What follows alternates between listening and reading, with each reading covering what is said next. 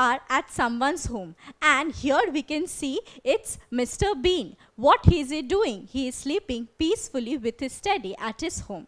But all of a sudden he felt a tremor. He was shocked and ran out of his bed with drowsy eyes. Then he saw everything in his room and all his belongings started shaking vigorously. He had no clue what's going on. The wall clock almost fell to the ground and he ran towards the wall to save it. Then he ran out to the window out of panic.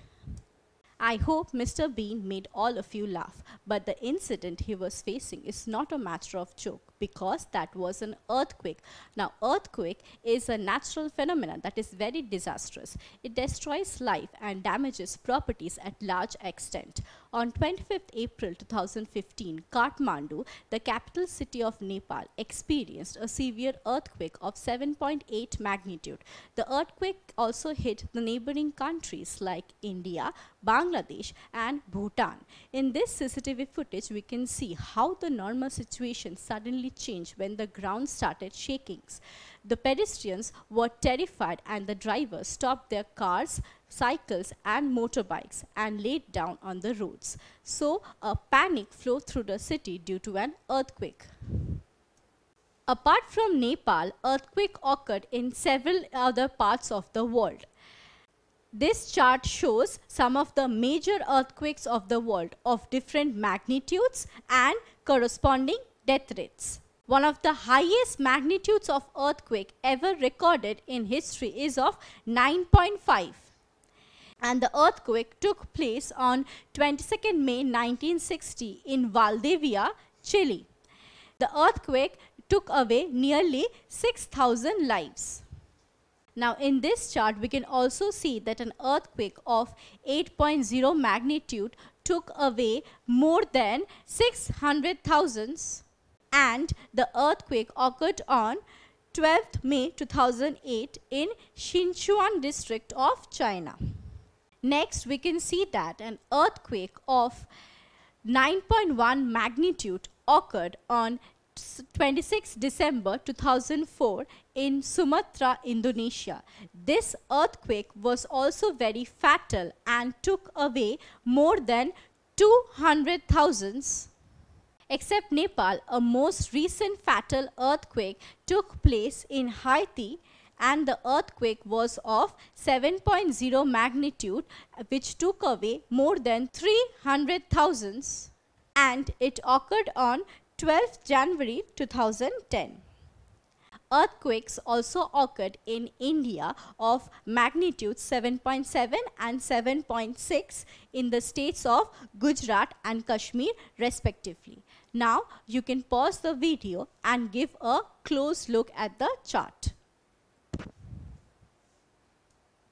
So in the previous slide, we read about different examples of earthquake of different magnitudes. Now, what do you mean by an earthquake? An earthquake refers to the sudden and intense shaking of the earth's surface. Now, this shaking is caused due to release of energy from the earth's interior. Now, earthquake is a natural phenomena that is very destructive. During an earthquake, Cracks develop on the roads, buildings demolishes and people are trampled under the buildings and are killed. And these destructions happen due to intense shaking of the earth's surface. So earthquake refers to the sudden and violent shaking of the earth's surface. Now before we proceed with our lesson, can you help me to answer this question? What is an earthquake? Is it eruption of molten rocks, intense shaking of the earth's surface, violent rotation of air column or large water waves? Well, we just read that earthquake refers to the intense shaking of the earth's surface. So, this is the correct answer. So now let's proceed with our lesson. The scientific study of earthquake and its formation is called seismology. Now, the word seismology originates from a Greek word seismos where seismos means earthquake. Thus, seismology refers to the study of earthquake and related activities like the waves that are produced during an earthquake. So now we know what is an earthquake. Now let us learn about different parts of an earthquake. If you throw a stone in a pond, what happens? The stone hits the pond at a point and concentric waves develop surrounding that point. These concentric waves shakes the surface water. Similarly, an earthquake has a center and concentric waves. So, just as we have ripples in pond water when we throw a stone, Concentric waves also develop in case of earthquake and these waves are called seismic waves. So what are seismic waves? Seismic waves or earthquake waves are vibrations or waves of energy produced by an earthquake and these waves originate inside the earth's surface and are also found along the earth's surface. Just as we can see these concentric circles or ripples when we throw a stone in a pond, the seismic waves produced by an earthquake are not visible to us. Now, this is the point in the earth's interior where an earthquake originates. Do you know what it is called? So, this point where an earthquake originates is called the center. So, what is a center? A center is the place inside the earth's crust where an earthquake originates. Another name for center is focus or hypocenter. Now, since this point lies inside the earth, it is difficult to locate this point. Now we just read that center is the point inside the earth where an earthquake originates. Now when an earthquake begins here, it produces waves of energy that travels in all directions from this point and the waves of energy hit the earth's surface at a particular point and that particular point is called the epicenter. So what is epicenter? Epicenter is the point on the earth's surface which is vertically above the focus. And this is the point on the earth's surface where an earthquake begins.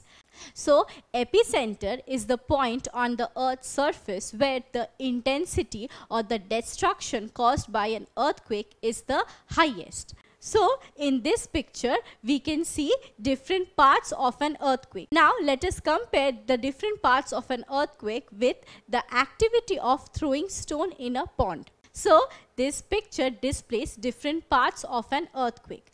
The place where the earthquake begins is called the center. Now, if you throw stone in a pond water, the place where the stone hits the surface water can be compared to the epicenter of an earthquake. So, epicenter is the middle point from where the seismic waves develop, just as this point from where the concentric circles develop. And these concentric circles that are produced are similar to the seismic waves produced by an earthquake. So now let us make a comparison between epicenter and center of an earthquake.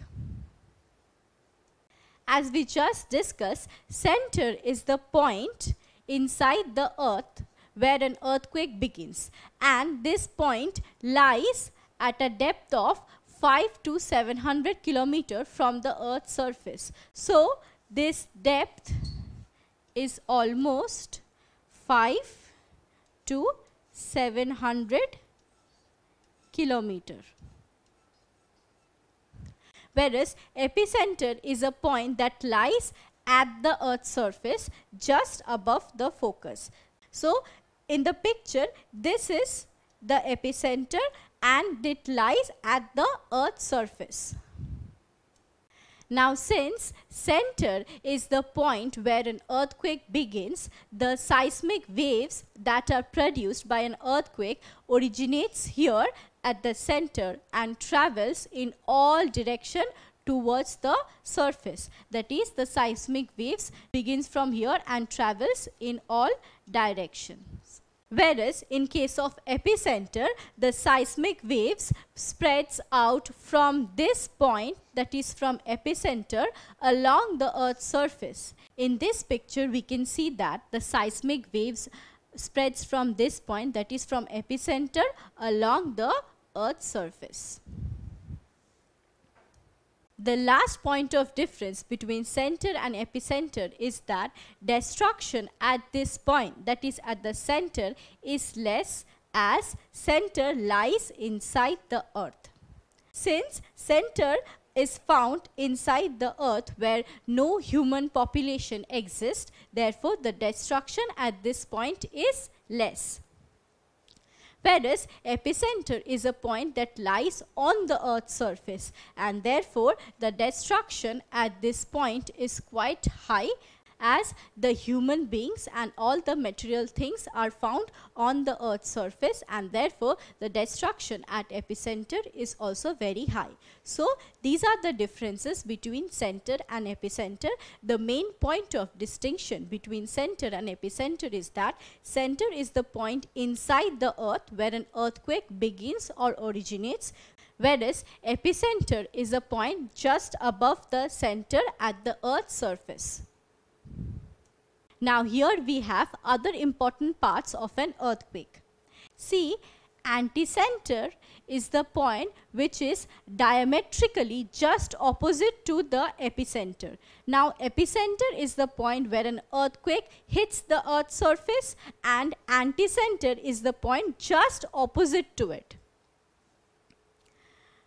The next one is shadow zone. Shadow zone is a place inside the earth where the vibrations are hardly felt or not felt at all.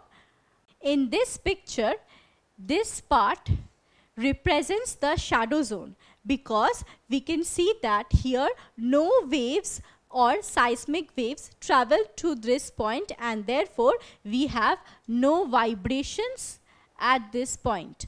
Whereas see that here vibrations are felt but here no vibrations are felt and therefore this part is the shadow zone. So in today's video, we learnt about the meaning of an earthquake. Earthquake is the sudden and intense shaking of the earth's surface. We also read about some of the major earthquakes of the world. And then we studied about different parts of an earthquake like center, epicenter, seismic waves, shadow zone and finally anticenter. In our next video, we will study about seismic waves in details. Don't forget to subscribe to our channel and hit the bell icon. You can also register for free at deltastep.com or download the DeltaStep app to learn one-to-one -one with our amazing teachers or to get access to our 5000 amazing videos as per your school syllabus. Master each topic with our adaptive practice technology. Get million plus questions with step-by-step -step solutions and unlimited mock tests. Get all your doubt resolved instantly. Learn via games and win amazing prizes like PlayStations and iPads. So at DeltaStep, learning is not just fun and easy, but it's rewarding too. So register for free now.